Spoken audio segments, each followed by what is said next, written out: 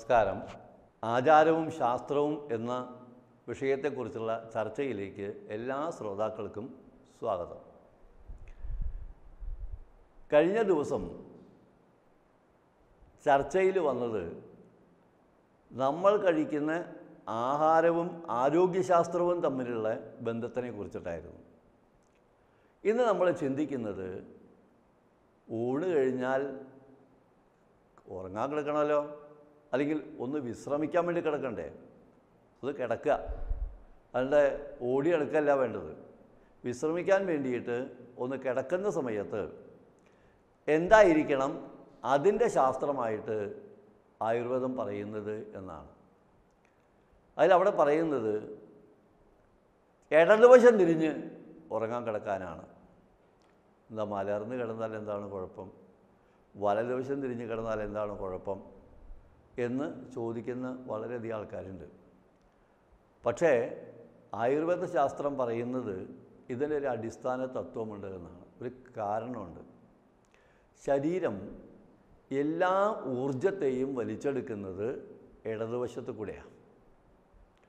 ഇടതുവശത്ത് കൂടെ വലിച്ചെടുത്ത് അതിങ്ങനെ കറങ്ങി കറങ്ങി കറങ്ങി വലതുവശം വരയ്ക്കെത്തും ആ വലതുവശം വരുമെത്തുമ്പോഴേക്കും ശരീരം ആ ഊർജ തരംഗങ്ങളുടെ എസൻസിനെ വലിച്ചെടുക്കും ആ വലിച്ചെടുത്തു കഴിഞ്ഞാൽ പിന്നെ അതിന്റെ വേസ്റ്റ് എനർജിയാണ് ബാക്കിയുള്ളത്. അത് ദേഹത്തിന്റെ വലത്ത് ഭാഗത്ത് പിറകിൽ കൂടെ പോകും. എന്നിട്ടോ? നമ്മൾ ഇടതുവശം തിരിഞ്ഞാണ് കിടക്കണമെന്നുണ്ടെങ്കിൽ അത് ഭൂമിയിലേക്ക് വലിച്ചെടുത്ത് അത് ഭൂമിയുടെ എനർജിയായിട്ട് മാറുകയും ചെയ്യും.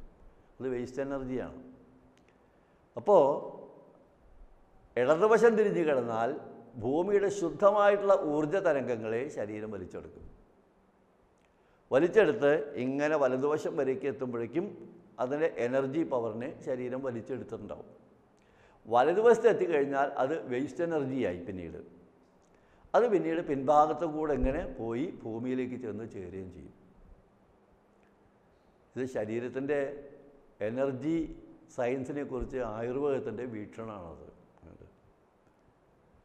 ഇത് അശാസ്ത്രീയമാണെന്ന് ഇന്നുവരെ തെളിയിക്കപ്പെട്ടിട്ടുമില്ല. അപ്പോൾ ശാസ്ത്രീയമായിട്ട് അംഗീകരിക്കേണ്ടി വരും. അപ്പം എന്തായാലും ഇടതുവശം തിരിഞ്ഞ് കിടക്കുമ്പോൾ നമ്മളെ ശരീരത്തിന് നമ്മൾ ഉറങ്ങാൻ കിടന്ന് ഉറങ്ങിക്കഴിഞ്ഞ് എഴുന്നേറ്റ് കഴിയുമ്പോഴേക്കും നല്ല നല്ല ബലം ഉണ്ടാവണം. ഉറക്കം എന്ന് പറഞ്ഞാൽ വിശ്രമത്തിന് വേണ്ടിയിട്ടാണ്. ഏറ്റവും വലിയൊരു വിശ്രമമാണ് ഉറക്കം. ആ വിശ്രമം കഴിഞ്ഞ് കണ്ട് എണീറ്റ് കഴിഞ്ഞ് നമ്മളൊരു പുതിയ ഒരാളായിട്ട് നമ്മൾ എണീക്കണം. അതിനെ സഹായിക്കുന്ന ഒരു ഹോർമോണാണ് നമ്മുടെ തലച്ചോറിൽ നിന്ന് വരുന്നതായിട്ടുള്ള മെലട്ടോണിൻ എന്ന് പറയുന്ന ഹോർമോൺ. രാത്രി പത്ത് മണി മുതൽ രാവിലെ മൂന്ന് മണി വരെയൊക്കെയുള്ള സമയത്താണ് മെലട്ടോണിൻ ശക്തിയായിട്ട് തലച്ചോറിൽ നിന്നിങ്ങനെ വന്നുകൊണ്ടിരിക്കുക. അഞ്ച് മണിക്കൂർ. മിനിമം ഈ അഞ്ച് മണിക്കൂർ ഒരാൾ ഉറങ്ങിക്കൊള്ളണം. നമ്മൾ പത്ത് മണിക്ക് ശേഷം ഉറങ്ങാൻ വൈകിക്കുന്ന ഓരോ മണിക്കൂറിനും നമ്മൾ ഉത്തരം പറയേണ്ടി വരും. ആരോട്? നമ്മുടെ ശരീരത്തിനോട്. കാരണം മെലട്ടോണിൻ വരാൻ വൈകുന്നതാണ്. ഇനി മൂന്ന് മണി കഴിഞ്ഞാൽ പിന്നെ അതിന്റെ അളവ് കുറഞ്ഞു കുറഞ്ഞു വരും. ഏകദേശം നാലര മണിയായാൽ പിന്നെ മെലട്ടോണിന്റെ അളവ് വളരെ തുള്ളി തുള്ളി തുള്ളിയായിട്ട് വരുന്നത് പോലെ മാത്രമേ ഉണ്ടാവുള്ളൂ. നെഗ്ലിജിബിൾ. തീരെ ഇല്ല എന്ന് തന്നെ പറയാം. പിന്നെ ഉറങ്ങിക്കെടുക്കുകയല്ല വേണ്ടത്. പിന്നെയോ നാലര മണിയായി കഴിഞ്ഞ് നമ്മൾ ഉണർന്ന് എണീക്കണം. നിത്യകർമാനുഷ്ഠാനങ്ങൾ ആരംഭിക്കണം. എന്തേ? പ്രകൃതിയുടെ കിഴക്കേ ഭാഗത്ത് ചക്രവാളത്തിൽ നിന്ന് ആരോഗ്യത്തിന്റെ ശുദ്ധമായിട്ടുള്ള ഊർജ സ്രോതസ്സുകൾ വന്നിങ്ങനെ പ്രവഹിക്കുന്ന സമയമാണ്. കിഴക്കേ ആകാശത്തുനിന്ന്. പ്ലാനറ്ററി എനർജി എന്ന് പറയും ഗ്രഹങ്ങളുടെ. നാലര മണി കഴിഞ്ഞ് ആറ് മണി വരെ എല്ലാ ഈ ഗ്രഹങ്ങളുടെ തരം ഊർജ തരംഗങ്ങളും പ്രത്യേകിച്ച് സൂര്യൻ ഇതിലെല്ലാത്തിനെയും കൂട്ടി ലയിപ്പിച്ചിട്ടാണ് നമുക്ക് തരുന്നത്. അതിങ്ങനെ ശക്തമായ രീതിയിൽ ഈ ഭൂമിയിലേക്ക് ഇങ്ങനെ വന്നുകൊണ്ടിരിക്കും. ഇതിനെക്കുറിച്ച് സോളാർ ഫിസിക്സ് എന്ന് പറഞ്ഞൊരു വിഷയം ആഴത്തിൽ പഠനം നടത്തിയിട്ടുണ്ട്. അപ്പോൾ നമ്മൾ എത്ര മണി വരയ്ക്ക് ഉറങ്ങാൻ പാടുള്ളൂ? നാലര മണി വരെ ഉറങ്ങാവൂ. അത് കഴിഞ്ഞാൽ നമ്മൾ ഉണരണം. ഉണർന്ന് നമ്മുടെ നിത്യകർമ്മങ്ങളുടെ കാര്യത്തിലേക്ക് നമ്മൾ കടക്കണം. അപ്പോൾ എത്ര മണിക്കൂർ ഉറങ്ങാം? പത്ത് തൊട്ട് നാലര വരെ എന്ന് പറഞ്ഞാൽ ആറര മണിക്കൂർ. ഞാൻ ഈയിടെ ഒരു ഡോക്ടറെ കണ്ടു. പതിമൂന്ന് മണിക്കൂർ പുള്ളി ഉറങ്ങാറുണ്ട് അത്ര. ഉറക്കം തന്നെയാണ് പണി. തടിച്ച മേധസ് ഭയങ്കര തടിയാണ് ഡോക്ടറാന്ന് പറഞ്ഞിട്ട് കാര്യമില്ല. അങ്ങേക്ക് ഇടയ്ക്കിടയ്ക്ക് ആരോഗ്യമില്ലാത്തതുകൊണ്ട് ഒരുപാട് അസുഖങ്ങൾ വരുന്നുണ്ട്. ഇപ്പം എന്ത് പറ്റി? അപ്പോൾ ഈ മെലട്ടോണിൻ ഹോർമോൺ വരുന്നതായിട്ടുള്ള സമയത്ത് ഹോർമോൺ നന്നായിട്ട് പ്രവഹിച്ച് കീഴോട്ട് വരണമെന്നുണ്ടെങ്കിൽ അതിന് അനുകൂലമായിട്ടുള്ളൊരു കാര്യമുണ്ട്. അതിനെ വലിച്ചെടുക്കുന്ന ഒരു ഊർജവലയം ഉണ്ടാവണം. ആ ഊർജവലയം ശരീരത്തിന്റെ ഇടതുവശത്തുനിന്ന് വലത്തേക്ക് ഇങ്ങനെ കറങ്ങി കറങ്ങി കറങ്ങി കറങ്ങിക്കൊണ്ടിരിക്കുന്ന ആ ഊർജവലയമാണ്. അതാണ് വാസ്തവത്തിൽ ഈ മെലട്ടോണിൻ ഹോർമോണിനെ ഇങ്ങനെ വലിച്ചു കീഴോട്ട് കൊണ്ടുപോയി. ഈ ആറ് മണിക്കൂർ സമയം നമ്മൾ ഉറങ്ങുകയാണെങ്കിൽ ശരീരത്തിനകത്ത് പകൽ സമയത്ത് ശാരീരികമായിട്ടുള്ള അധ്വാനം കൊണ്ടോ ആവാം അല്ലെങ്കിൽ ഒരുപാട് തലച്ചോറിന് ബുദ്ധിപരമായിട്ടുള്ള വ്യായാമം കൊണ്ടാവാം കുറേ ക്ഷീണവും തളർച്ചയൊക്കെ നമുക്ക് ഒരുപാടുണ്ടാവും. അതിനെ മുഴുവൻ ഇങ്ങനെ കഴുകി കഴുകി കഴുകി ഒരു കാറൊക്കെ സർവീസ് ചെയ്യുന്ന പോലെ കഴുകി കഴുകി കഴുകി കഴുകി കഴുകി കഴുകി ശരീരത്തിൽ നിന്ന് പുറത്തേക്ക് തള്ളുത്ര കാലിൽ കൂടെ വലിച്ചു പോകുന്നു. കൊണ്ടുപോകുന്നു. അത് മലതു മലോ മൂത്രമൊക്കെ ആയിട്ട് പോവും പിന്നെ കാലിൽ കൂടെ വലിച്ച് അങ്ങോട്ട് കൊണ്ടുപോവുകയും ചെയ്യും. അങ്ങനെ ആറ് മണിക്കൂർ നേരത്തെ സർവീസിങ് കൊണ്ട് ശരീരം ഈ മാലിന്യങ്ങളെയൊക്കെ നീക്കിയിട്ട് ടോക്സിൻസ് അല്ലെങ്കിൽ ഇമ്പ്യൂരിറ്റീസിനെ മുഴുവൻ നീക്കിയിട്ട് പുതിയൊരു മനുഷ്യനായിട്ട് നമ്മളെ മാറ്റിയെടുക്കുന്നതാണ്. അപ്പോൾ ഈ രാത്രി പത്ത് മണി മുതൽ രാവിലെ നാല് മണി നാലര മണി പരമാവധി അതുകൊണ്ട് ഉറങ്ങാൻ പാടില്ല. ആ സമയത്ത് ഉറങ്ങണം. എങ്ങനെ കിടന്നുറങ്ങണം? ഇടതുവശം തിരിഞ്ഞ് കിടക്കണം. ഈ മെലട്ടോണിൻ ഹോർമോൺ നന്നായിട്ട് വരാൻ വേണ്ടിയിട്ട് ശ്രദ്ധിക്കേണ്ട ഒരു കാര്യമുണ്ട്. ഇത് വൈ വൈദ്യശാസ്ത്രം പറയുന്ന രസകരമായിട്ടുള്ളൊരു കാര്യമാണ്.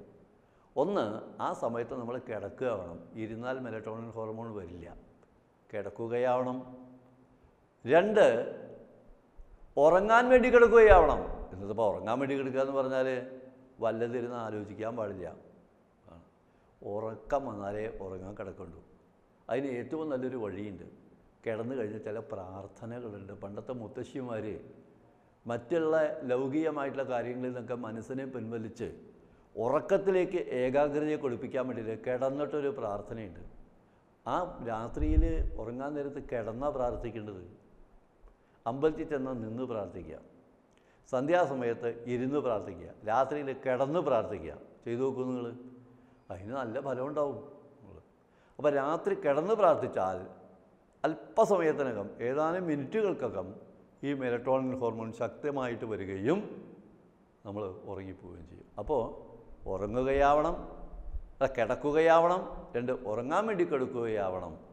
മൂന്നാമത്തെ പറയുന്നത് ആയുർവേദശാസ്ത്രം അടിവരയിട്ട് പറയുന്നു ഇടതുവശം തിരിഞ്ഞ് കിടക്കുകയാവണം. നാലാമത്തത് ലൈറ്റൊക്കെ ഒന്ന് ഓഫ് ചെയ്യുക ഇരുട്ടത്ത് കിടക്കുകയാവണം. ലൈറ്റിട്ട് കിടന്നാൽ ഈ മെലട്ടോണിൻ ഹോർമോൺ നാണം കുടിങ്ങ വരില്ല അത്ര. ഇടതുവശം തിരിഞ്ഞ് കിടന്നാൽ തലച്ചോറിൽ നിന്ന് വരുന്ന ഹോർമോണിനെ ത്വരിതപ്പെടുത്താൻ വേണ്ടിയിട്ട് ഈ ബോഡിയുടെ ചുറ്റും കറങ്ങുന്ന ഈ എനർജി അത് വളരെ പവർഫുള്ളായിട്ട് ഇതിനെ ആകർഷിച്ച് വലിച്ചെടുക്കുകയും അങ്ങനെ വരുമ്പോൾ ഉറക്കം തൃപ്തിപരമാവുകയും ചെയ്യും. അതാണ് കൃതചംക്രമണേ. സർക്കുലേറ്ററി സിസ്റ്റത്തിനെ ഏറ്റവും നന്നായിട്ട് പ്രവർത്തിക്കാൻ വേണ്ടിയിട്ട് വാമശയി ഇടതുവശം തിരിഞ്ഞ് കിടന്നുറങ്ങാനാണ് ആലത്തൂർ നമ്പി നമ്മളെ ഉപദേശിക്കുന്നത്. ഇതിന്റെ തുടർന്നുള്ള മൂന്നാമത്തെ ഭാഗവുമായിട്ട് അടുത്ത ദിവസം വീണ്ടും കണ്ടുമുട്ടുന്നത് വരെ എല്ലാവർക്കും നമസ്കാരം.